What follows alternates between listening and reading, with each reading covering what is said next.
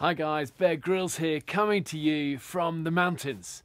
And this Easter at Bear Grylls Adventure at the NEC in Birmingham, you're all going to have the chance to win a limited edition range of Bear Grylls Easter eggs with some adventurous ingredients. Now Merlin have asked me to add a little of my own DNA to the egg, hoping it brings you lots of positivity and energy and good adventures ahead. So I'm going to take this DNA swab. Uh, it goes inside my mouth.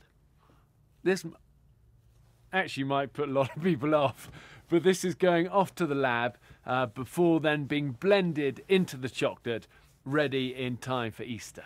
So hoping that you've got what it takes to win. Good luck, and I hope to see you soon at the Bear Grylls Adventure.